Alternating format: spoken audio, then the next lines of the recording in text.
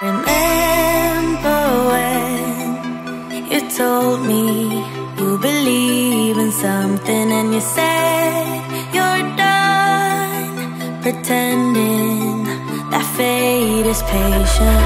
Go right